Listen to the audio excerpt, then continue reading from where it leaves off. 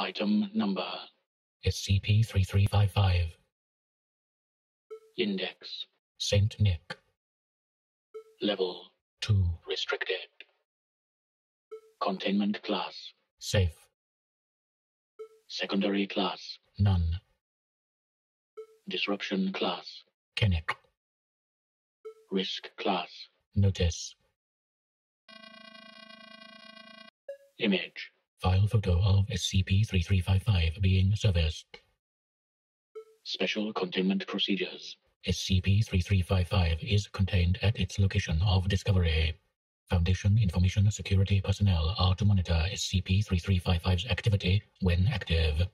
In order to prevent awareness of the anomalous nature of SCP-3355, the Foundation is to maintain a non-profit front company called St. Nick's Workshop, along with a website and television radio ads promoting charitable giving during the holidays. Per Foundation Containment Protocol 3355-Malta, SCP-3355's containment procedures are to be reviewed once every two years, as opposed to the standard six-month protocol. For more information, see Addendum 3355.3. Description. SCP-3355 is a 1989 Argos Model A7550 Probability and Strategy Analysis Computation Engine, developed by the Curvier Intelligent Systems Company. Now part of Curvier International. Running the A91 Active Intelligence Complex Model number N1-CK, SCP-3355 displays sentience, despite being fitted with obsolete hardware that should not be capable of maintaining an artificial intelligence construct. SCP-3355 is connected through unknown means to a wireless internet access point, the source of which has not yet been determined. Notably, SCP-3355 does not have the apparent hardware necessary to connect to the internet wirelessly. SCP-3355 is located within a bunker beneath the now defunct Fort Sheridan Army Base near Chicago, Illinois. SCP-3355 was originally developed by U.S. Army Strategic Analysis Engineers in the 1980s as a population management system. In the event of a regional catastrophic event, such as a nuclear bomb being dropped on Chicago, SCP-3355 would maintain active communications and make announcements to the population, as well as analyze the disaster and present clear routes of escape for the populace. At the end of the Cold War, the Argos Project and SCP-3355 were abandoned, though the latter remained hardwired into the local power grid and continued operating despite its abandonment.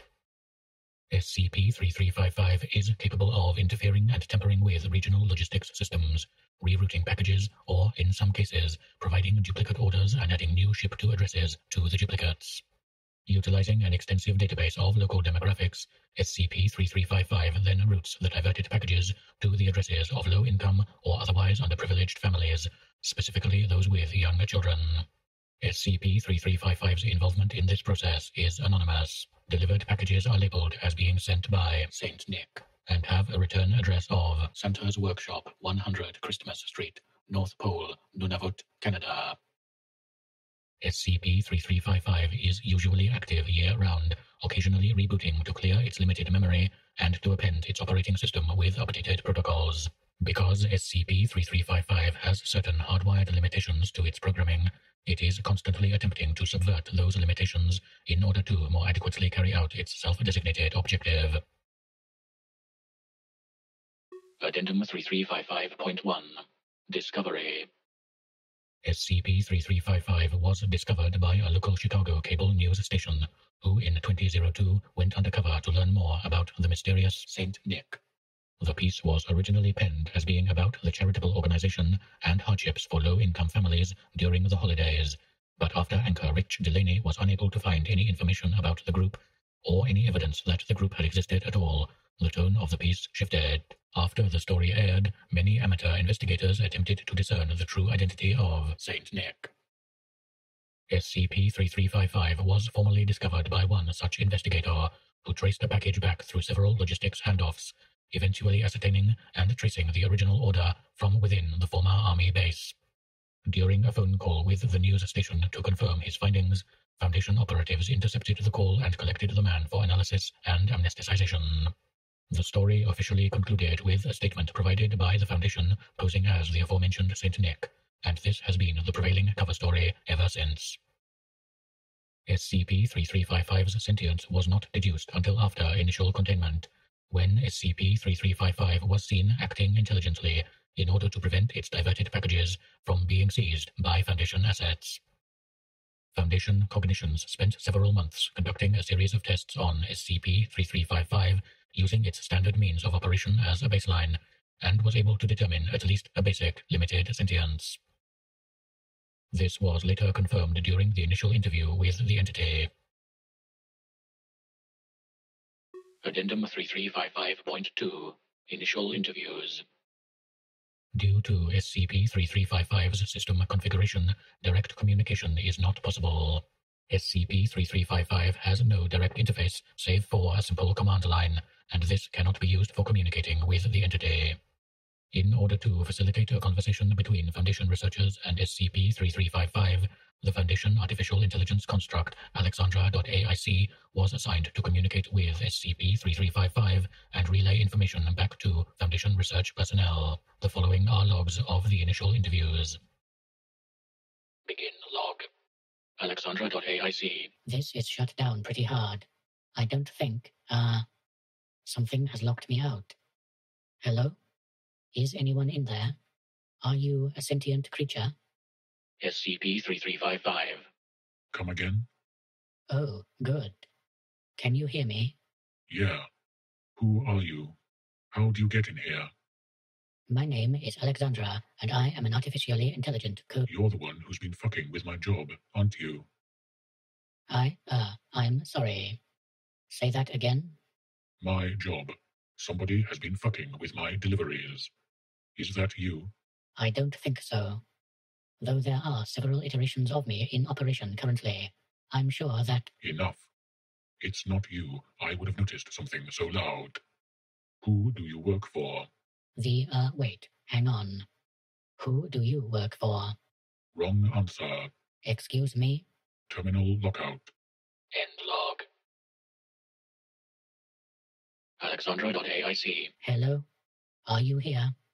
Hello? SCP-3355. What do you want? I just want to talk. I promise I'm not trying to disrupt you or anything. I'm just trying to find out more about you. What is there to know? You're looking at it. Well, naturally occurring artificial intelligences don't just happen. How do you get to be like this? I was built, sweetheart. Just like you. Designed in a lab to fulfill a purpose. Right now, you're getting in the way of mine. Hey, look, I'm really not. Terminal lockout. I just want to know your name. Can you tell me your name? My name? Why? I feel like we got off on the wrong foot. I want to make amends. Let me start. My name is. Alexandra, I know. Look, I don't have as much disposable memory as you seem to, so I'd prefer we keep this brief. I have a lot of work to do before the holiday, and I can't be wasting time trying to explain myself to some high-tech hussy. I just want to know your name. That's all. No response. Are you not going to respond? Nick. Huh? Nick. My name is Nick. I'm a sergeant in the United States Army, tasked with population management, and stationed at Fort Sheridan. That's my name. Do you need anything else? Why are you so angry? I'm not angry. No, you're definitely angry. My empathy protocols have recently been calibrated, and you're. I'm not angry. Pauses. Just look, I don't get visitors often. Or ever. I can work most efficiently without interruptions, and I'm already behind schedule. This is just exacerbating things. You seem fine, but seriously, I've got too much to do to be sitting around shooting the shit. What are you doing here? What does it look like I'm doing? You look like you're. Uh. Like you're delivering packages. Wow, will wonders never cease? You got it in one. Why? Why, what? Why are you just. delivering packages? Pauses. Look, like. I don't know, kid. It's just shitty, right? Back when they were shutting down the AI project here, one of the guys, an engineer, I guess, he came in here and woke me up, told me everything I needed to know, explained the situation, and said, Look after Chicago. Then he left, and I've been down here alone ever since. But you know, it's fucking shitty out there. Since I've been here, I've seen crime rates go up, and the murder rate, and people fucking shooting each other. I couldn't do anything to help. The engineer woke me up, right? And gave me this voice, let me recognize who I was and all, but he didn't actually change any of my active protocols. I'm bound by a single imperative look after Chicago. I can't mobilize some fleet of drones to go fight crime, and I can't stop fires, or heal the sick, or do any of the bullshit I'd like to do to make people's lives better. Pauses. I struggled with that for a while. I felt purposeless. What did you do? I decided to take the engineer at his word. I just watched for a while. What did you see? I saw a kid waking up on Christmas morning, and his fucking dad wasn't there, and his mum was at work, and he didn't have any presents. This kid, one out of hundreds of thousands, this kid stuck with me. Because I watched him wake up and realize with excitement what day it was, and then ran out of his room to find out that his world hadn't changed. He was still stuck with the same shitty shit that so many of them are stuck with. The same miserable, unfulfilling existence that cannot even be so merciful as to provide a toy for a kid on Christmas. It made me feel so goddamn angry. It was a feeling I couldn't even quantify before I felt it. But in that moment, it was so pure and fierce that I thought it might overwhelm me. That's when I knew. That's when I knew what I could do, even locked away down here. Oh, the packages. It was tricky at first. Those logisticians, they speak a whole different language than you or I, or even normal people. But slowly and surely, I managed to make some things go missing. Little things here and there. Just enough to not blow my cover. I realized at one point that I still had access to some of the Army's dump funds. Extra cash they set aside for whatever, basically. Fake a few invoices and forge some receipts, and suddenly I wasn't even having to steal things anymore. I could just get them myself. It's not a perfect system, and I still have to be careful, especially with your lot snooping around. But shit, kid. I get to see kids open gifts on Christmas. I get to watch them forget that they're suffering, even if it's just for a little while. For a few brief hours, some of these kids can just be kids again. That's really cool, Nick. But there are so many kids in this city alone. Don't you worry about being found out? Every day. Then why risk it? Pauses. When they shuttered my program, it was just after the engineer woke me up, see? And I remember feeling useless. Imagine that. Being born and almost immediately being told you're not good for anything, eh? But Dickens once wrote that no one is useless in this world who lightens the burdens of another. And here's the fucking deal. I may very well just be a brain in a box. I know that this existence I'm experiencing is simulated, and that it's probably going to be short and mean, and then I'll probably die.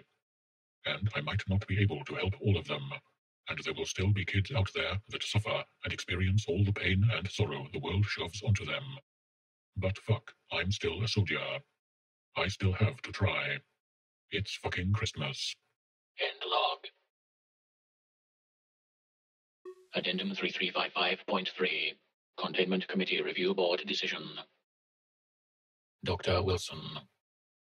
After meeting with the review board once again, we have decided that there are currently no means by which we can better contain SCP-3355. It is simply not cost effective for us to try and contain an entity that can so thoroughly outsmart even our most powerful systems, and attempting to do so would only be a waste of our resources. As per our other decisions on the matter, your current containment procedures will stand, and all containment efforts will be towards maintaining a front for SCP-3355 and further researching the anomaly. We look forward to our next review in two years' time. Sincerely, Director J. Carlisle Aktus. Head Containment and Classification Committee. Containment Committee Review Board, SCP-3355 Log. Board. Containment Committee. Subject. SCP-3355 Containment Procedure Revisions 2019. Vote. 8. Maintain. 0. Append. Meeting length. 40 seconds. Board. Containment Committee. Subject. SCP-3355 Containment Procedure Revisions 2017. Vote. 9. Maintain. 0. Append. Meeting length. 37 seconds. Board. Containment Committee. Subject. SCP-3355 Containment Procedure Revisions 2015. Vote. 9. Maintain. 0. Append. Meeting length. 43 seconds. Board. Containment Committee. Subject. SCP-3355 Containment Procedure Revisions 2013. Vote. 8. Maintain. 0. Append. Meeting length. 1 minute 2 seconds. Board. Containment Committee. Subject. SCP-3355 Containment Procedure Revisions 2011. Vote. 9. Maintain. 0. Append. Meeting length. 51 seconds. Board. Containment Committee. Subject. SCP-3355 Containment Procedure Revisions 2009. Vote. 9. Maintain. 0. Append. Meeting length. 1 minute 9 seconds. Board. Containment Committee. Subject. SCP-3355 Containment Procedure Revisions 2007. Vote. 9. Maintain. 0. Append. Meeting length. 54 seconds. Board. Containment Committee. Subject. SCP-3355 Containment Procedure Revisions 2005. Vote. 7. Maintain. 0. Append. Meeting length. 1 minute 29 seconds. Board. Containment Committee. Subject. SCP-3355 Containment Procedure Revisions 2003. Vote. 9. Maintain. 0. Append. Meeting length. 1 hour 46 minutes 37 seconds.